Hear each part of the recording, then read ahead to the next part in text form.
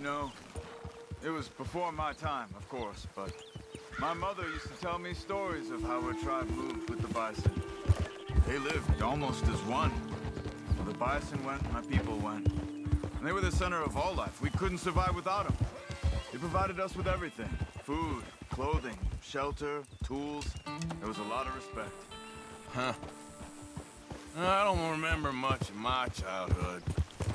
But I think my people, well, we pretty much moved with the whiskey. well, my father did that too.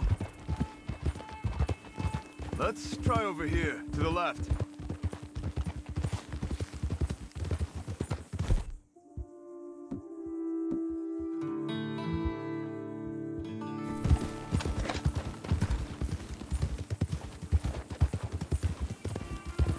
Over there. You see them all? Incredible, aren't they? We should only kill one of them.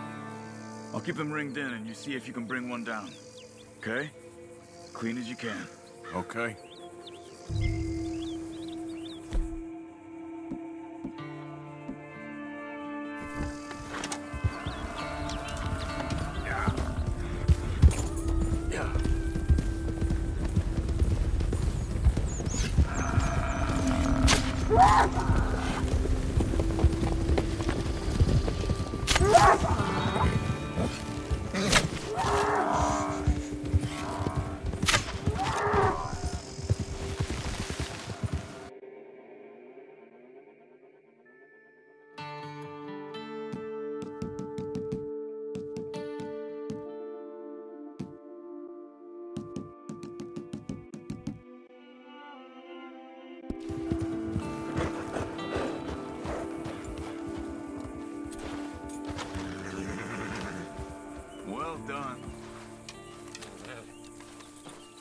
All right.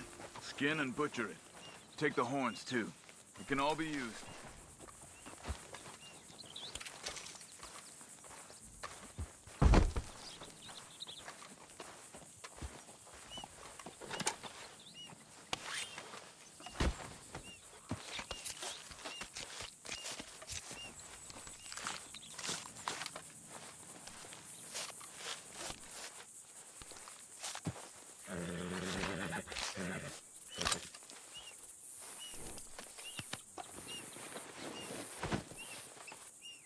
Good job. Stow that on your horse and mount up. I wanna go check something out. Okay, let's go.